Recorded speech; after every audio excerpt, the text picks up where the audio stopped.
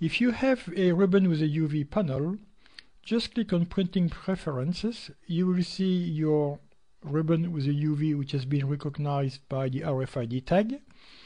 And you can apply to have the UV applied on the front of the card or back on the card or both sides of the card, whatever you wish. The UV looks like a, a transparent material.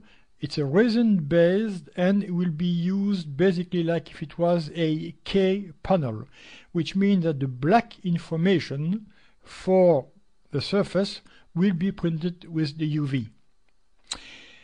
How and where you want to apply the UV, it depends up to you and your design evidently, but let's take the sample of the UV on the front side.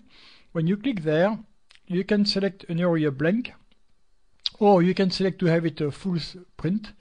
So when you have this selection here, everything on the card which is a black from your card design will be used by uh, the UV resin to be applied as a UV resin.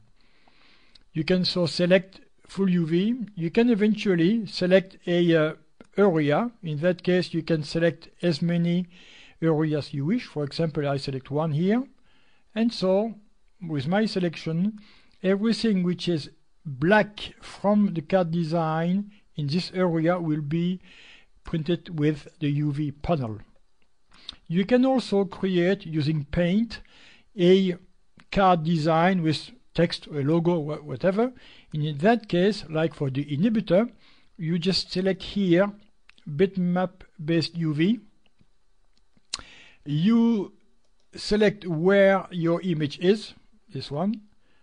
For example, you click on open and from now on, when you click on OK, everything you are going to print will be uh, printed with the UV for the pixels which are in that bitmap image. As you can see here, you have four different options depending a little bit as to how your uh, image is.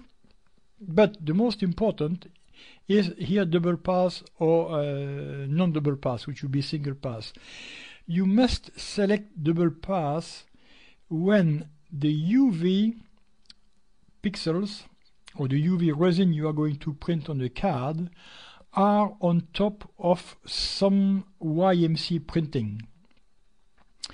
So again, if you print a card with you an image, for example, and if on that image you wish to apply the UV resin on top of the UV printing, you must select double pass. If not, there will be not enough I would say contrast for you to see the uh, UV. If you print the UV resin on an area of the card which is not printed by YMC, so an area which is left blank, then do not click double pass and single pass will be uh, good enough. The only drawback with double pass is that you are going to use twice as more panels as in single pass. So that's a compromise here between single pass and double pass.